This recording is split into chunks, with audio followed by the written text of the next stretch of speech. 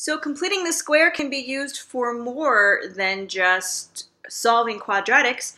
You can use it to find the vertex of a quadratic written in standard form.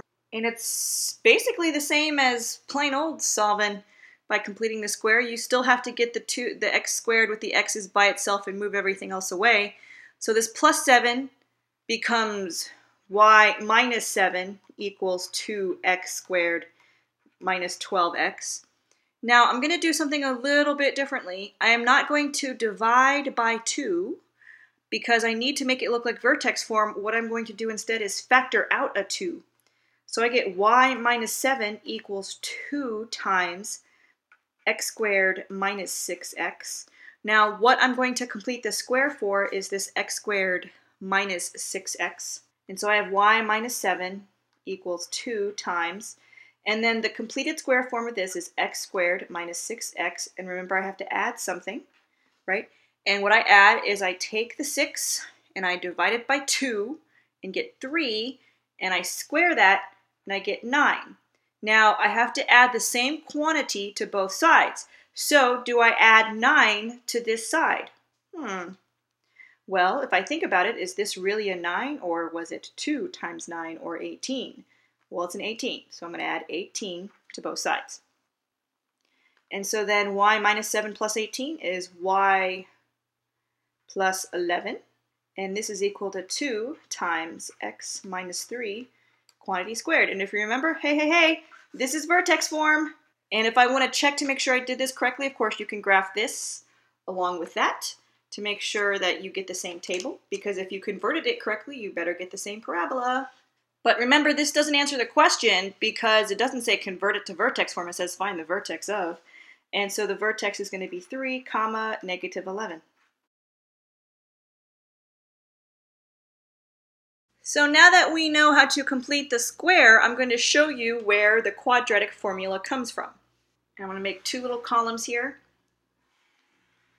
And I'm going to make this side here the side work because I'm going to have to do some simplifying fractions and stuff that's not actually part of the deriving the formula.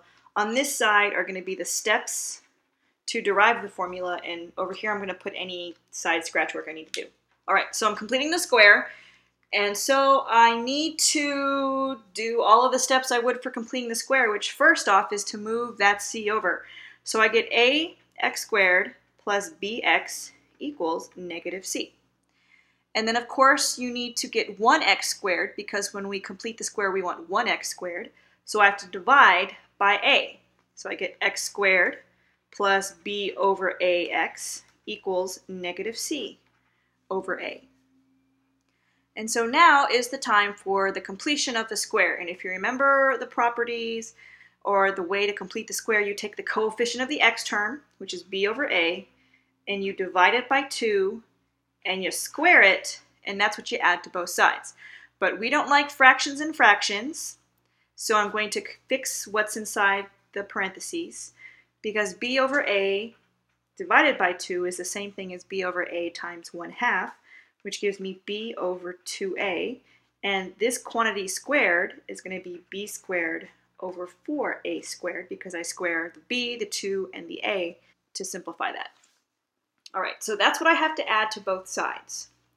So I'm going to have x squared plus b over ax plus b squared over 4a squared equals negative c over a plus b squared over 4a squared. So now I need to simplify this fraction here, okay? So I need to do a little bit more side work. So I have to add these two fractions. This fraction has a denominator of a, this fraction has a denominator of 4a squared. In order to add them, they have to have the same denominator. So I'm going to use the denominator of 4a squared. So if I have negative c over a, and I want it to equal something that's 4a squared on the denominator, it means I have to multiply the numerator by a 4 and an a. So I get negative 4ac. I'm just rearranging it so it looks familiar to the formula. And so now I'm going to rewrite this so that I have a completed square over here. And this is completed square form, but I want to write it so it's in parentheses.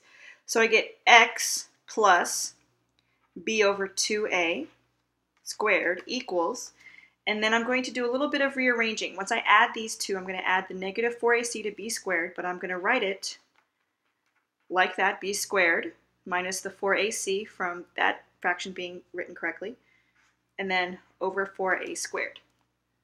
And so now I can start to see parts of the formula. The b over 2a, which was the line of symmetry, the b squared minus 4ac, which is the discriminant. So now I have to solve for x by square rooting both sides. So I get x plus b over 2a equals plus or minus the whole square root of b squared minus 4ac all over 4a squared. Now there is a rule that says we do not like fractions under the radical, so we use the quotient property to split that up. And so when I split it up over here with some side work, it's going to be b squared minus 4ac square rooted over the square root of 4a squared.